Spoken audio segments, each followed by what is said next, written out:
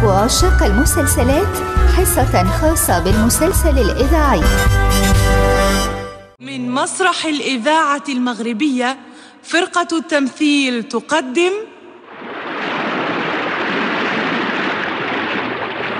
اللهم اجعلني مستأنسا بالوحدة عن جلساء السوء واجعلني تقيا ولمغفرتك ساعيا وبعطائك راضيا جارات أبي موسى. جارات أبي موسى. مسلسل الإنسان في حلقات عن قصة الأديب الأستاذ أحمد توفيق. اقتباس وحوار محمد أحمد البصري. إخراج الهشم بن عمر الحلقة الثالثة والعشرون. وأخيرا أخيرا جاءتك فرصتك الذهبية يا جرمون. فإن لم تقتنصها الآن فقد تضيع عليك وإلى الأبد. أبدا. هذا لن أسمح به أبدا. لن أستريح أو يهنأ لي بال حتى أحقق كل طموحي في الاستئثار بأوسع نفوذ وأعظم محب المسلسلات الإذاعية لابد من ترقيعك على الهامات وجعلهم ينفذون أوامري وهم خائفون. فلن يفل الحديد إلا الحديد ولن يخضع الرقاب العنيدة إلا المال والسلطة والإغراء والترهيب. على هذا جبلت على هذا المنهج أسير. وكل صفقة أحسب لها ألف حساب ربحا أو خسارة. إلى متى ستظلين على هذا الحال؟ لن أستطيع عليه صبرا. كان إنسانا رائعا بفضائله بكرمه بحبه الفائق لكل وصف بإحسانه لكل محتاج. فكيف تغدر بي الأيام وتخطفه مني؟ وأنا أحوج ما أكون إليه. الجوراء مات. أتفهمين يا ساذجة؟ مات وانتهى أمره ولم تبق لك منه سوى ذكريات باهتة. جلها لا يرقى إلى كل هذا الحزن والألم. أرجوك يا زيدة أرجوك. لا تزيدي للطين بلة ولخرق اتساعا لم يكن زوجا فقط بالنسبة إلي. أعرف البقية يا أخيه كان لك بمثابة الأب الحنون والراعي الوفي والصديق المخلص. جميع هذه الصفات تنطبق عليه ولكنه قطعا لم يكن الزوج والحبيب وأظنك أدركت ما أرمي إليه. يا كم أنت قاسية. ألا تذكرين الموت بالخير؟ اذكريه أنت بالخير هذا شأنك. لكن سأدافع عنك رغم أنفك. دعيني أشرح نيابة عنك قسوته وأنانيته وجبروته. لتستيقظي من غفوتك يا بلهاء. كفى! كفى! كان يطمح دائما أن يظل في عين النساء ذلك الرجل الفحل الكامل القوة. فاقتنصك بماله ومركزه ليضعك دمية في قفص من ذهب. وأنت في عمر حفيداته. أليس هذا بظلم شنيع؟ في حقك وحق شبابك عليك؟ وما شأنك أنت إذا كنت أنا قد رضيت وقبلته زوجا؟ لا تكذبي على نفسك. فما أتعس أعماقك؟ حرمك من الأمومة التي هي مطمح كل أنثى وجمد عواطفك الملتهبة بصقيع شيخوخته المتهالكة بكل أنانية وقسوة مكتفية بالمظاهر الخداعة والسعادة المزيفة على حساب رغباتك كامرأة. لأن فاقد الشيء لا يعطيه. فما كان يقدر على إعطائك شيئا هو لا يملكه. يا لك من قاسية وكنت تظهرين له الطاعة والوفاء فيا لي من بلهاء حقا كنت أقوم بواجب أتقاضى عنه ثمنا فلم أكن لا منافقة ولا خائنة. أقوم بما يمليه علي ضميري بالصدق والنزاهة. يا عزيزتي أنت ما زلت فتاة غضة نقية السريرة وأمامك مستقبل عريض كثير المباهج والعطاء. فاحذري أن تقعي في غلطة أخرى تلازمك متاعبها كظلك. دعيها تملي علي سطورها تلك الصحيفة صحيفتي. فهل يغني حذر عن قدر؟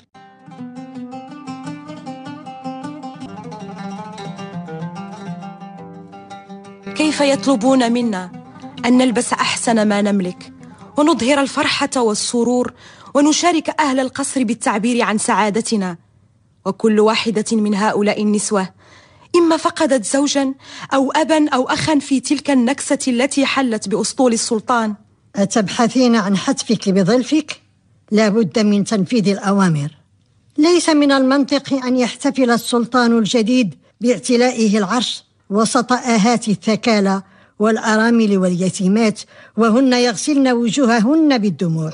وماذا يريدون منا؟ فليدعونا وشأننا. وما يدريك قد يعوضوننا بعطاء نضمد به الجراح إلى حين. انظري انظري إلى باب القصر. أترين ما أرى؟ أرى رؤساء الحرس بزيهم المميز وبعض النساء لعلهن العرائف. إنهم يقصدوننا. فاتح ألا تخشى على ورقاء عندما تسمع بخبر زوجها أنه من بين الضحايا أن تقع على الأرض مغشيا عليها؟ علمت البارحة بالخبر كيف؟ ومن خبرها بذلك؟ أخبرت فقط خادمتها زيدة ورجوتها أن تكتم ذلك عن مولاتنا ورقاء لكن على ما قالت لي بعد ذلك فضلت إنهاء المشكل بالأمس لتكون اليوم على استعداد لتقبل الخبر الرسمي آه لقد شرعوا في ذكر أسماء الشهداء. فاطمة بنت عبد العظيم الوهابية. استعدي ولد الناس. وأنت يا فتح ماذا فعلوا بك؟ ألم أقل لك إنني ألحقت بكوكبة الخدم داخل القصر؟ وقد نلتقي هناك غدا بعد أن أحضر متاعي وأوراقي الخاصة. فرصة سعيدة. إذا سوف نلتقي من جديد بعد فراق طال زمنه. من هنا تفضلي يا ابنتي ورقاء. أوصتني مولاتي أم الحر أن أعتني بك عناية خاصة. أشكرك أم الحر.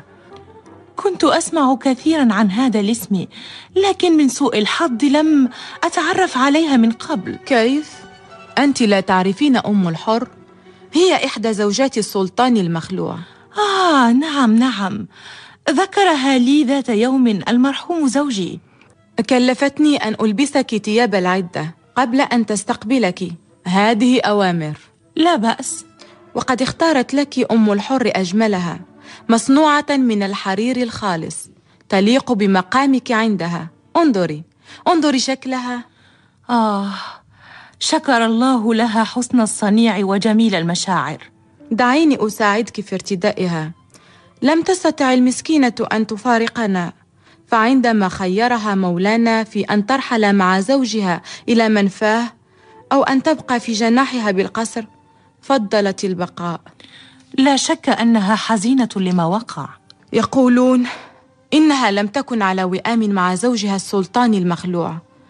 أما ابنه فهو يحترمها ويقدرها ويعاملها أحسن معاملة بل يعتبرها بمنزلة والدته. هي إذن ليست أمه؟ لا. زوجة أبيه. والحق يقال امرأة في منتهى الطيبوبة والكرم واللطف. سوف تلمسين ذلك بنفسك. آه هكذا. جميل. كم أنت رائعة بهذا اللباس الأبيض. سأحتفظ بملابسك حتى تعودين. اتبعيني. سبحانك يا مبدل الأحوال. تعز من تشاء وتذل من تشاء. اجلسي بقربي يا عزيزتي ورقاء. انصرفي يا سعدة. أمر مولاتي. أه. سمعت عنك الكثير. كيف تربيت في أحضان سيدة رفيعة السمعة والأخلاق؟ الطاهرة زوجة ابن الحفيد. وكيف تلقيت العلم وصنوف الآداب والفضائل؟ كان الجورائي رحمه الله لا يتحدث لزوجي إلا عن مزاياك وسمو خصالك الحميدة. أطال الله عمرك يا مولاتي فأنا خادمتك الطامعة في رضاك ورضا مولانا السلطان. بل أنت من الآن فصاعدا بمثابة ابنتي وجليستي في وحدتي وتأكدي أن قلب انفتح لك عند رؤيتك. وأن ما سمعته عنك جعلك تحلين في نفسي أسمى مرتبة وأعز مكان. هذا من فضل ربي ورضاه عني. وسوف تجدني مولاتي نعم المخلصة الوفية المقدسة للجميل. لا أشك مطلقا في ذلك. أوه وبالمناسبة سوف تقام بالقصر ابتداء من اليوم إلى نهاية الأسبوع حفلات تتشرفين خلالها بالسلام على مولانا السلطان وأمه الجليلة وسائر وجهاء الدولة وأقطابها. وهل تسمح لي مولاتي أم الحر حفظها الله أن أحضر أمتعة وحلية وضعتها أمانة عند زيده إحدى خديمات أعتابكم الشريفة. بكل تأكيد. وسترافقك سعدة إلى مقرها بالقصر لتساعدك في ذلك. بارك الله في عمر سيدتي. في رعاية الله يا بنيتي. وعودي سريعا. نعم مولاتي.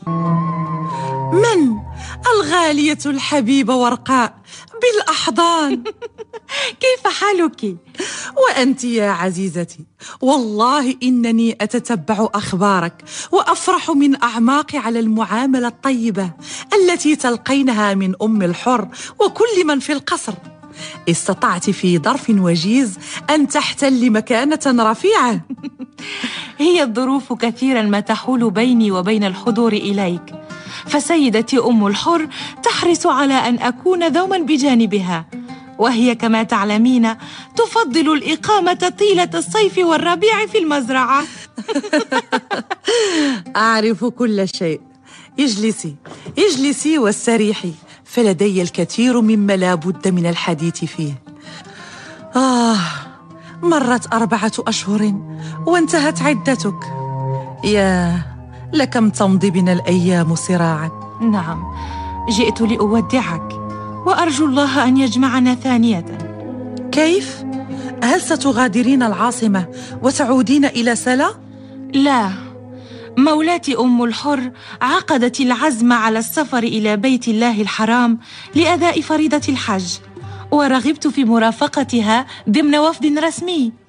وقد وجدتها فرصة مواتية لأداء فريضة الحج والتوجه إلى الله سبحانه وتعالى أن يغمرنا جميعا بفيض رحمته ومغفرته والصلاة في مسجد المصطفى لعل الله يطهرني من كل الأوزار جسما ونفسا وروحا.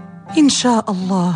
حج مبرور وسعي مشكور وعود محمود إلينا إن شاء الله تعالى. والعقبى لك يا أختي. عسى الله أن يقبل منك. لكم أتمنى أن يوافيني الأجل هناك. بعد عمر طويل إن شاء الله. إن شاء الله. كنتم في الاستماع إلى الحلقة الثالثة والعشرين من مسلسل جارات أبي موسى. شارك فيها حبيب المذكوري رشيد الحراق بن عبد الله الجندي نجاة الخطيب المحجوب الراجي عبد الكبير الرقاقنة سعاد الرتبي فاطمة الزهراء أحرار وإكرام البصري. ضبط الصوت وسجل الحلقة الحسين الخرمودي وفاطمة لتيمي مكساج ومونتاج حميد زيان.